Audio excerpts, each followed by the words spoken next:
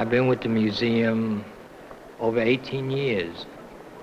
And I started out in security, went up to design, and worked in several other departments. Now with public education, working on audio-visual equipment, making videotapes of uh, installations and galleries.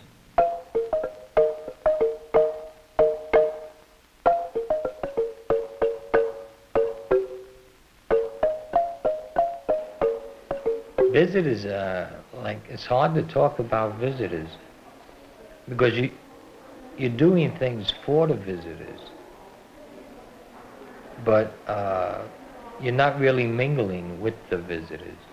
Like everything you do is, in, uh, is to prepare the works for the visitors to see.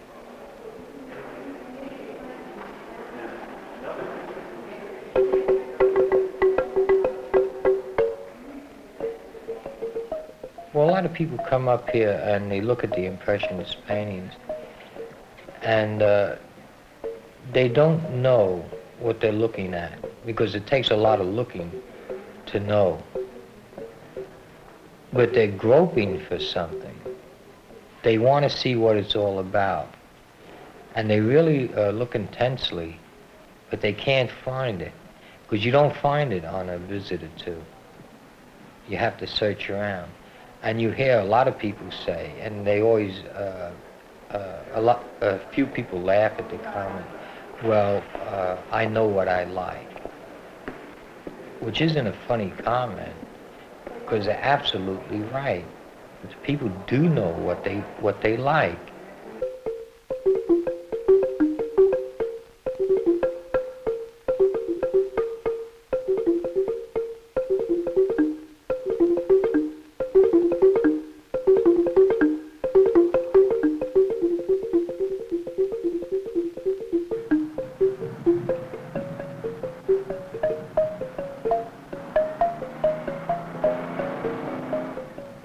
The museum, it, it doesn't seem like it has an end.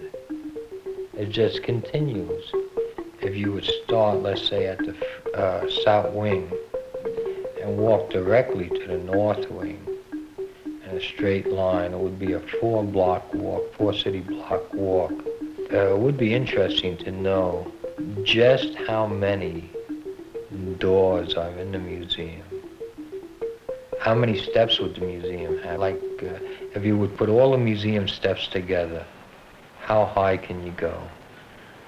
I think you could look down on the Empire State Building for sure. There must be over 800 people working in this museum. Uh, you have uh, elevator mechanics, you have carpenters, you have um, painters, steam fitters, plumbers, restorers, designers, roofers, tinsmiths. Everything is in the building. And, and these are a lot of people that you never see.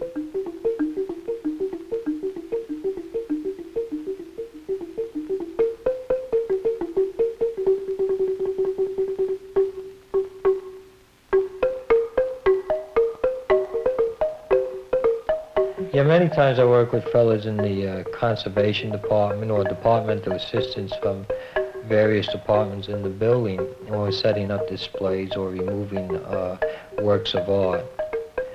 Everybody had a job to do. Uh, you have one person making the display case.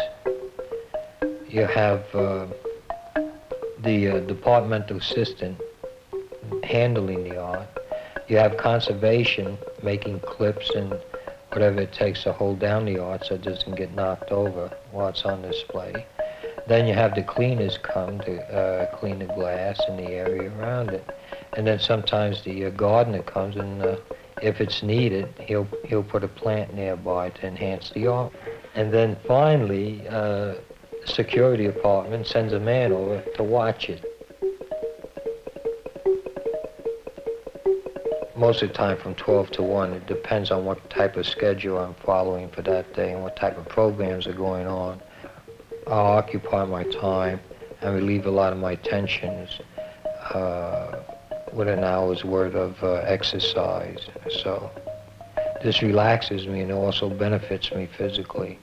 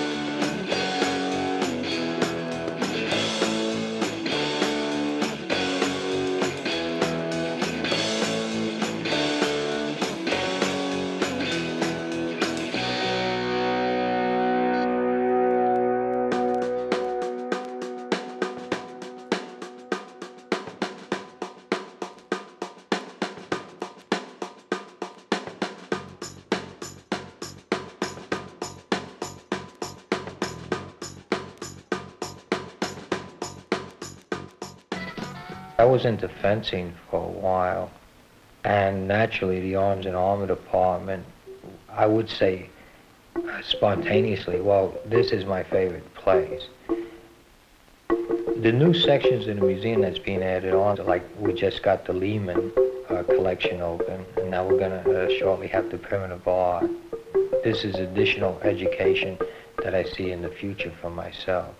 It also might mean, who knows, I might even take up a new sport. When I'm outside the museum, I'm a different person. When I'm in the museum, I'm very much more relaxed. You know, I sort of know what the situations are there.